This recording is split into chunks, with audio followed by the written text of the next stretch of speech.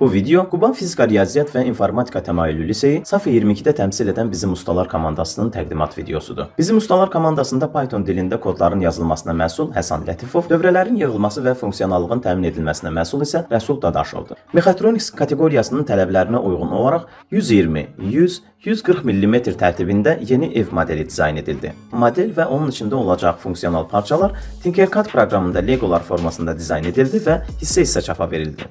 Legolar kənarlarındakı çıxıntılar vasitəsilə bir-birinə bağlandı. Bütün hissələri bir yerə gətirdiyimiz zaman bəzi hissələrin lazım olan ölçülərdə olmadığı məlum oldu. Bu hissələr ya yenidən çap olundu, ya kənarlarında hamarlama işləri aparıldı, ya da CNC lazer ilə kəsildi. Bu yeni dizayn edilmiş model üzərində daha rahat işləməyə imkan verirdi. Bütün parçalar öz yerində düzgün yerləşdirildikdən sonra modelin funksionallığını təmin etmək üçün C proqramlaşdırma dilindən istifadə edilə bilərdi. Lakin bu halda modelə əmrləri Telegram üzərindən vermək mümkün olmayacaqdı. Telegramı C mühitinə gətirmək mümkün olmadığına görə Arduino Python mühitinə gətirildi. Arduino-nu Python mühitində çalışdırmaq üçün PyFirmat modulundan istifadə olunub.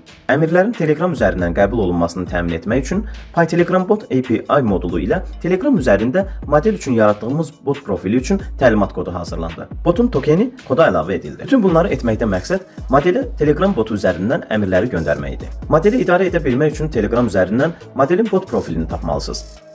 Profilə daxil olub start əmrini verdikdə kod sizdən yeni istifadəçi, yoxsa ev sahiblərindən biri olduğunuzu soruşur.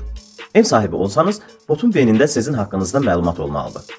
Bu məlumat əsasında bot sizi tanıyır və modelin idarə etmə menyusunu sizə təqdim edir. Ev sahibi deyilsinizsə, sizə ev sahibi olmaq üçün təklif edir və tələb olunan parolu soruşur. Buna nail olmaq asan olmadı. Bunun üçün komanda Python mühitində fayllar və matrislərlə işləməyi öyrənməli oldu. Çətinlik orasında idi ki, bot istifadəçi məlumatlarını yadda saxlaya bilmir. Yeni və köhnə istifadəçiləri fərqləndirmədən cavab verirdi. Yeni istifadəçi parolu düzgün daxil etdiyi halda ev sahibi kimi tanınır və qeydə alınır. Bu istifadəçi ikinci dəfə daxil olduqda ondan parol deyil, sadəcə adı soruşulur. Botun menyusunda həm də layihə haqqında məlumat və istifadəçi təlimatı yerləşdirilib. Lazım olduğu halda təlimat fayl şəklində istifadəçiyə göndərilir. Modelin əmrlər menyusu iki əsas hissəyə ayrıla bilər. Sorğular və əmrlər. Sorğular sizə evin içərisindəki vəziyyət haqqında məlumat almağa imkan verir. Siz qapının açıq olub-olmadığını, qaz sızması olub-olmadığını yoxlaya bilərsiniz. Əmrlər menyusunda isə siz evdə istədiyiniz dəyişiklikləri edə bilərsiniz. Məsələn, evin qapısını aça, evin və həyətin işıqlarını yandıra bilərsiniz. Evin funksiyalarının siyahısını daha da artırmaq mümkün olsa da, qurğuları yerləşdirmək üçün prototipin ölçüləri kifayət etmirdi. Bu səbəbdən modelin ölçülərinin kiçildilməsi ilə yanaşı, funksionallığın da azaldılmalı olduğu videonun əvvəlində qeyd edilmişdi. Bizim ustalar komandasının məqsədi Telegram botlarının ağıllı ev sistemlərində tətbiq imkanlarını göstərmək idi.